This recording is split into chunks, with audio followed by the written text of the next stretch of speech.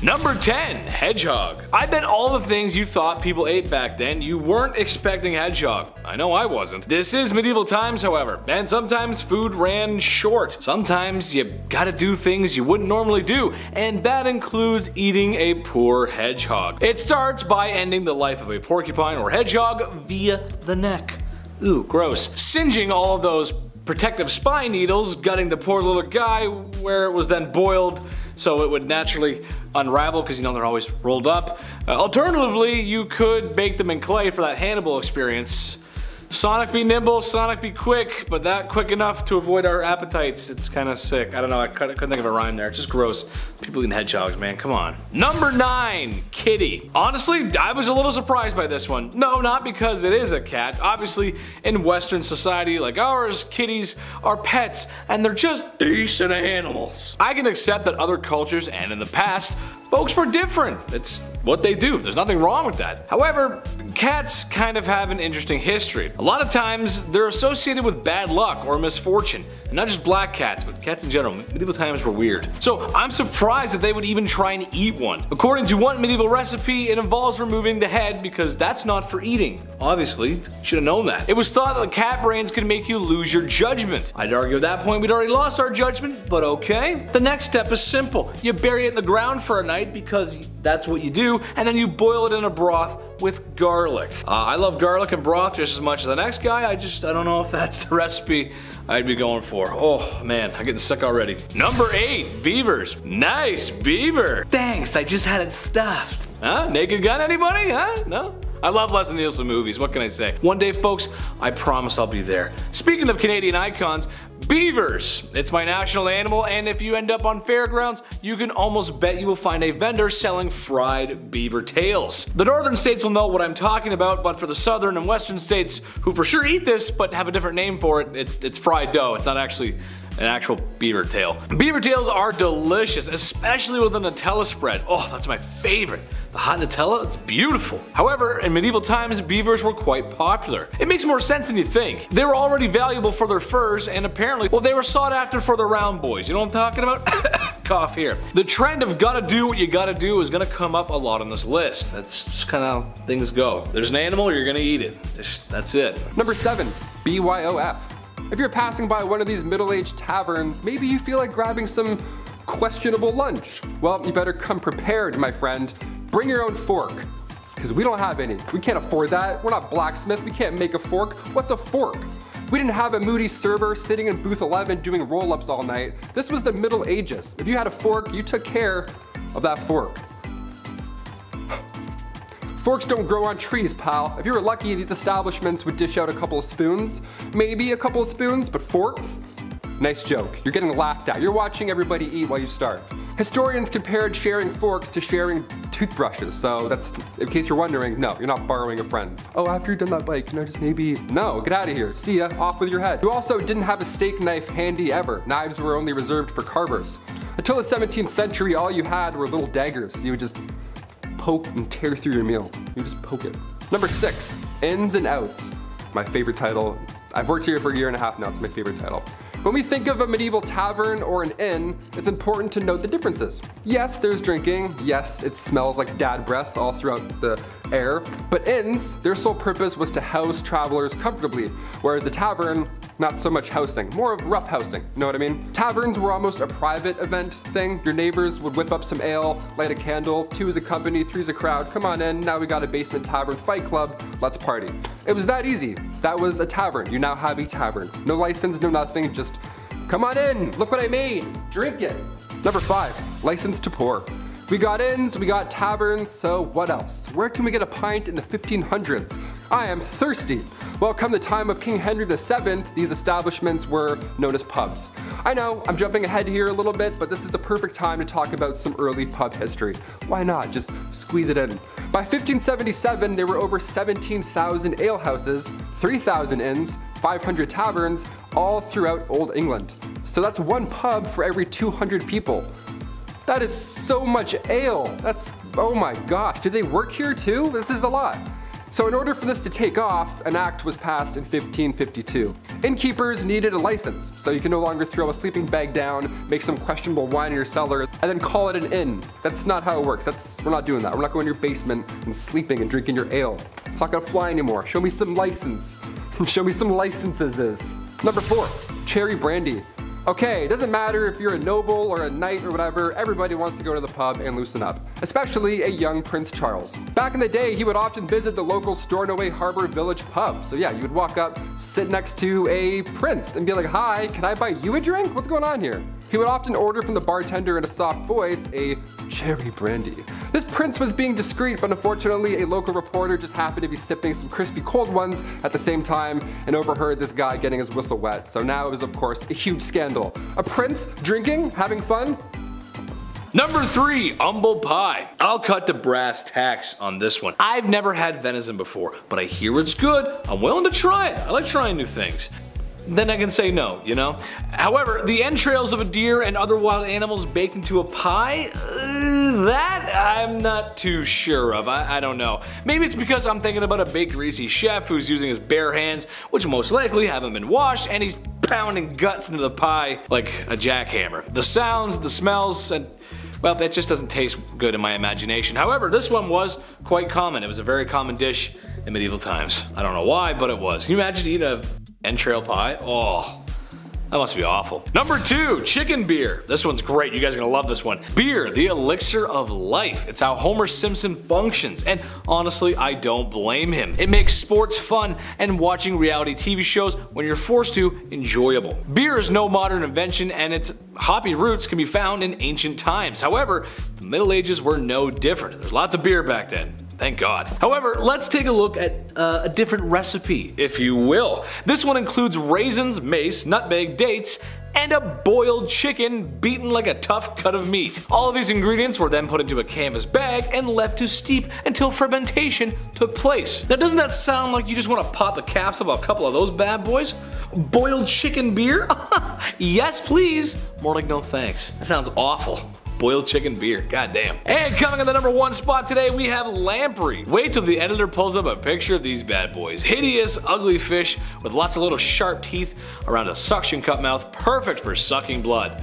They're bloodsuckers. While you cover up your wrist, medieval people love these little devils. This was also thought of as a delicacy. King Henry I loved them so much, in fact, well, it actually might have been his undoing. He ate too many of them apparently. Gross. Stay off the leeches, guys. If anything, stay off the leeches. They're gross. Don't, don't. Mm -mm. No. Number 10, Treaty of Verdun. The Treaty of Verdun, or also known as Traité de Verdun was a contract agreed on in August 843 in which divided the Frankish Empire into three kingdoms among the surviving sons of the Emperor Louis I, the firstborn son and heir of Charlemagne. Long story short, all the grandsons were all at civil war with each other about who was getting what, what did Grant promise. The treaty followed shortly after almost three years of wars between the brothers. It was the first in a series of partitions contributing to the dissolution of Charlemagne's empire, and it is seen as a blueprint in which modern societies are based off of. Basically, the brothers all had to split what their grandfather had decreed his own into land. Lothair, the first, coolest name, Charlemagne's eldest son, received Francia Media,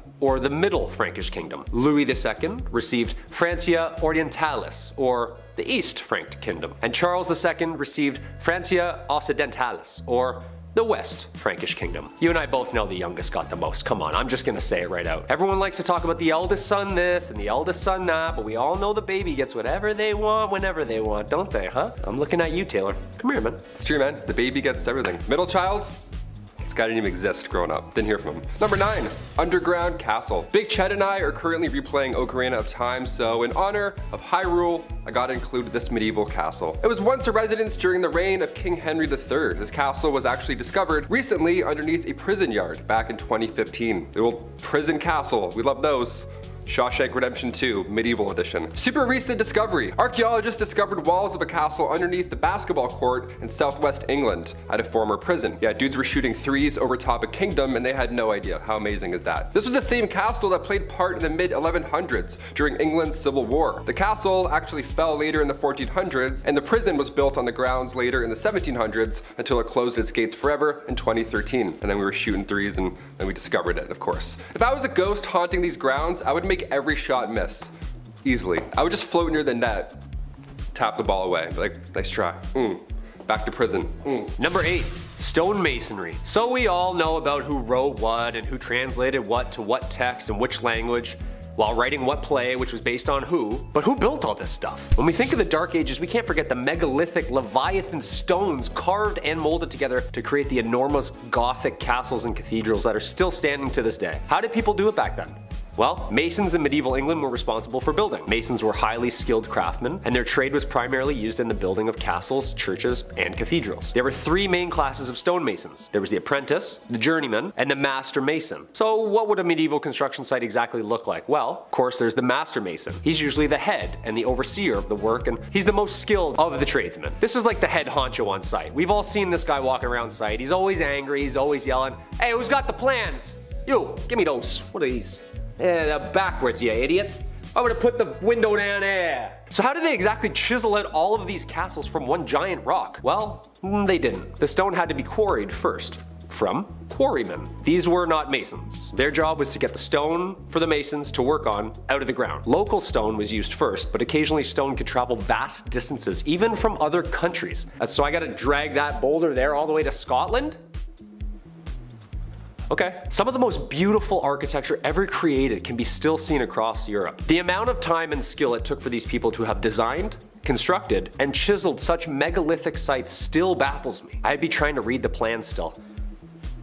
Oh, I, that's north. I got the, I got it, we're good. Number 7. Roasted Swan. This one is supposed to be a delicacy. Roasted swan. You just go to the park and see those swans floating in the pond and you think to yourself, yeah, I'd like to roast and eat those birds. Kind of a weird thing to think, but okay, sure. I know swans can be aggressive, but damn, okay. Anyway, more disturbing than daydreaming about eating unusual poultry is what medieval people did to prepare swans. One recipe calls for its guts and vinegar to be used in bread making. I think we'll skip on that one. And another one where the skin is removed, roasted, and then the skin and feathers put back on the bird. So you put it back on the dinner table for like a show and then peel it back off. It's just, it's strange. I feel like that's not very sanitary. I feel like the feathers are the dirtiest part. You, you always have to remove the feathers, don't you, Chris? I don't know. It's weird. Number six, sheep's business. When you've trimmed all the meat and you're staring at an animal's piece of deal, there's only one thing left to do. Wash it, clean it, stuff it with 10 eggs, milk, fat, and roast it with ginger and cinnamon.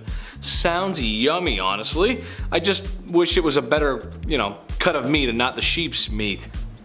Like I said, it's a case of you gotta do what you gotta do. I know today there are some dishes involving the undercarriage of bulls and I hear it's good, but uh, you can't blame me if I'm a tad skeptical. So that one was all about a sheep's, his, his gabagool, you know, his, uh, his Wiener von Schnitzelminer. Number five, garbage stew. Ever walk down the stairs and say, Mom, what's for dinner? And she says, I don't know, but pulls off whatever she's got from the fridge and the pantry and makes a great meal. Even though deep down inside, she hasn't been grocery shopping because she got into the wine, but acted as if she had everything under control when she totally didn't.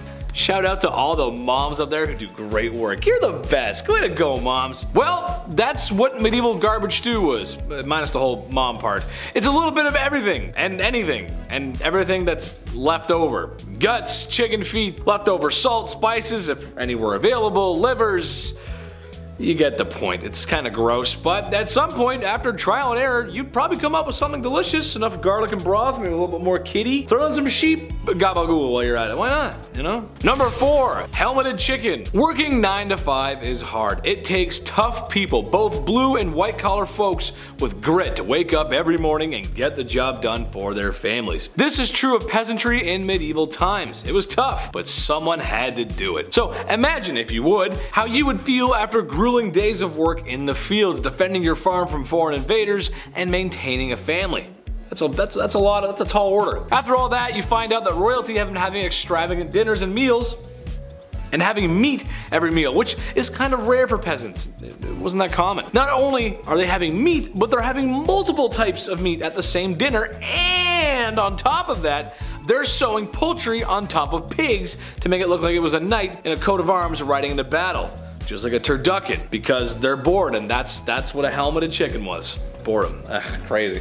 People are starving outside and they're like, we should sew the chicken and the pig together. Number three, medieval taverns. Say you want to grab a pint with the local lads. Where do you get an IPA in the dark ages? Where do we get a six pack of Arthurian ale? Well, this is the medieval ages, so instead of venturing through the woods to hopefully Maybe find another town, just ask thy neighbor. That's right, in the Middle Ages, you could brew your own ale. No problem, no one's asking any questions. Give it a shot. In the late 12th century, baking bread was not freely permitted, but making ale in your basement was. Uh, I guess that's great. So the higher ups, the noble lords, they wouldn't care if you made ale and had a block party. But if you made a weak ale, or it was improperly measured and then distributed, then, and only then, do you get a fine. Arrest this man at once. Number two, St. Patrick. St. Patrick was a 5th century Roman British Christian missionary and bishop in Ireland. Also known as the Apostle of Ireland, although he is the first apostle, having lived prior to the current laws of the Catholic Church.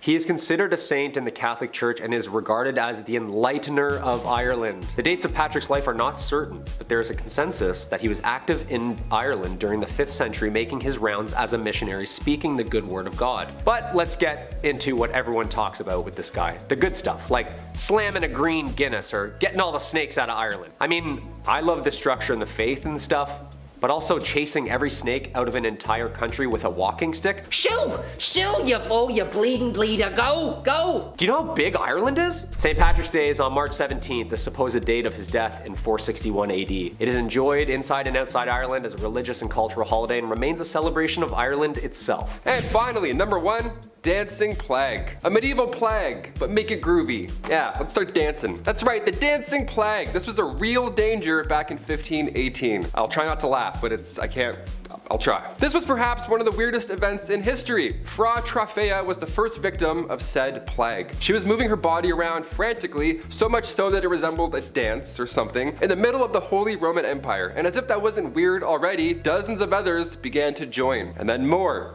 and then more, all moving their bodies with a similar, wacky, frantic twist. This was long before Chubby Checker came along, so we still have no idea what was going on here. Like, we're out of guesses at this point. This twist lasted for months. People were dropping on the spot. It was scary and confusing. In total, there were around 400 victims that fell to this mysterious illness. That's a lot of deaths. That's a lot of real deaths. This was documented in 16th century historical records, so I don't think the story is made up per se. No one would make this up. It's terrifying. A Catholic saint at the time, Saint Vitus, was believed to have the power to curse people with said dancing plague. What an amazing power also. Guy starts moonwalking away, you're like, beat it. Some suggest this was a cult, others believe they ate toxic rye. Who's to say for sure? Either way, we're all dancing. Kicking off the list at number 10, the big city. Okay, it's the 14th century, it's Saturday, you and the boys are off to have a hoot and or holler. You decide to hit the big city, check out one of those medieval taverns that everybody is talking about. So, what should you expect? Should you get your fake ID? Should you have your passport? Is there a bouncer? What's covered tonight? How many rupees is covered? Well, for starters, this is a long time before Ubers. So unless you have a horse or two, you're gonna have to walk quite a bit just to get to the bar. If the Black Death didn't get you, the commute into the city definitely would your knees would be clicking. Living in the city was horrible. Strict curfews were put into place. Violent crimes would happen all throughout the night because obviously back in those days there's no police force out patrolling. Just shady dudes in hoods. Just Big Ched would be in the corner with his hood up just planning something, you know what I mean? Number 9. House Special. Many of these ale brewers were women, probably because men were too busy drinking it. Ale and bread were both necessities when it came to living in the late 12th century, because there's no Taco Bell anywhere. This food's sparse. Hunting, it's all sparse. I like saying the word sparse, it's nice. Sparse. Baking bread was not freely permitted, but making ale in your basement was. Yeah, we went from making ale in our living rooms to banning alcohol. History is wild sometimes. So the higher ups, these noble lords, they wouldn't care if you made ale and had a block party and all that jazz and made all that noise, but if you made weak ale, or if it was improperly measured and then distributed, then you would get a fine. Imagine that. That's like the police busting your house party only when they get there, they turn the music up and congratulate you on a proper barrel of White Claw. Uh, yes, Black Cherry, the finest. Number eight, don't mind the rats. Oh, what's that? You're with your friends and family gathering around a table, eating and drinking and conversing, having a lovely time? Ah, be a shame if hundreds of rats started to swarm your feet while you were mid-bite, wouldn't it? Welcome to the past. The plague rolled into town back in 1328 and it lasted until like 1350. It lasted a long time. It was actually horrible. We think of the plague in history and we're like, man, was that anything like the past few years? No, not at all. I haven't seen any swarms of rats lately. I haven't gotten the Black Death. The European population was reduced by one third and rats were mostly to blame. Yeah, these quick hairy balls of yuck just scurrying through the town. I don't want any part of that. I don't like rats. I actually do not like rats. These little guys passed it on. Mid-meal, you would feel a tickle, look down. Oh, it's just the plague. Nice, just a couple of plagues waiting for crumbs to fall. Oh, how cute is that? Yep, just the bill, thanks. Number seven, apple bobbing. In a time where bodies were literally piling up on the side of the road, I can't believe we got apple bobbing out of the whole ordeal. That's crazy. It seems like ill timing, but it is the dark ages. What can you do? Apples historically have always been a symbol of importance. The Greek golden apple started the Trojan War. Snow White's poison apple was a symbol of importance in literature and all that good stuff from growing up. And in the Middle Ages, apples were viewed as a symbol of romance and fertility. These things have roots, pun intended, of course. In medieval times, bobbing for apples was flirty. It was their version of speed dating, dare I say. What happened was all the leftover apples from the big harvest were then put into a big bucket. Each apple had a villager's name on it, then maidens would have three chances. Three chances to grab that apple with their teeth. Three chances to win a date with the English Tad Hamilton. What a weird time. Can you imagine if this was in Game of Thrones? Reek is just shivering for two seasons, bobbing for Ramsay's Bolton apples. We're like, medieval times were dark, holy sh. Number six, the feudal system, aka feudalism, was a form of structure system existing in medieval Europe in which people would work and fight for nobles who gave them protection and land in return. A social political system in which landowners would contractually bind tenants to exchange their goods, loyalty, and simple space for safety and comfort within the laws of those ruling. Basically, this is like our renter's agreement now. I'll give you a place to stay and some heat. You give me an unfathomable and overpriced amount of shillings for these extremely low ceilings. Yeah, talk about crooks, man. This system stayed in place for more than a thousand years and managed to fizzle its way out of society somewhere in the 15th century. Not just anybody would ask to be signed to this deal. There was structure and there was order. There was a lord, aka the landowner, aka your landlord, allowing vassals, aka tenants, to rent the land by providing services, especially military services. Yeah, you can stay here, but once in a while we're gonna need you to dump a bunch of boiling water and over that wall. Is that cool? Yeah, you're fine with that. The plot of land, called a fief, was typically worked on by serfs who were laborers who had very few rights and were bound to the land itself. These are the lowest class of people, and they basically did any and all to stay safe on the lord's land. Jobs would include farming, jobs would include cleaning, and was a minimum of three days work to maintain in good standing and remain stationary. Ah, sure, there was no dental or mental health days, but come on, a three day work week? Plant a couple carrots here and there? Eh, it doesn't seem that bad. Number five, Fear the Dead. With The Walking Dead on their 47th season, I think it's time to take a peek into zombie history, shall we? And find out where this grim idea really started. Well, it's certainly not a new one, I'll tell you that for free. As far back as the early 1300s, residents were buried in the village of Wharram Percy, where archaeologists discovered them many moons later, and they discovered marks on their bones. Cuts, burn marks, you name it. Apparently this was all done after they had passed away.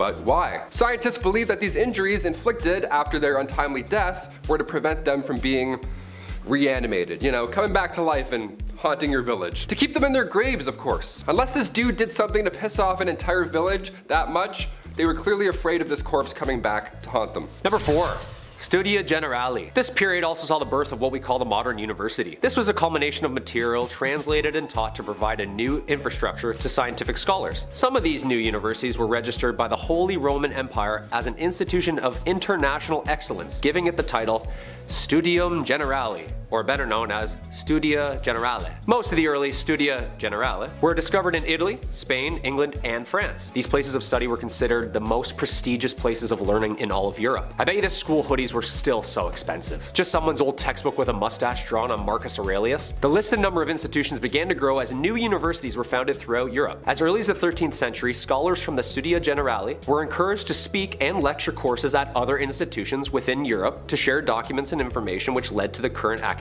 culture seen in modern universities today. It's a TED Talk, come on. There had to be one cool professor back then, like the guy who lets the class teach itself, orders pizza, has tenure, and hates the monarchy. Number three, tavern history. Before the Middle Ages, there were still taverns, places where alcohol was sold. Of course, this goes back thousands of years. Taverns, believe it or not, existed during ancient Roman days. In ancient Greece, the Lech, which was a fancy club, it served food to its members as well as strangers.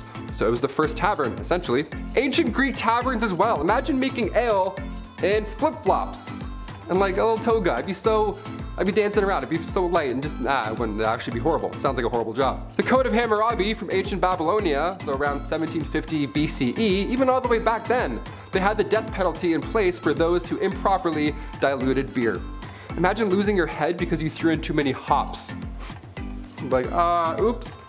You see him take a sip, he's like, mmm. You're like, oh, please. Number two, drink ale responsibly.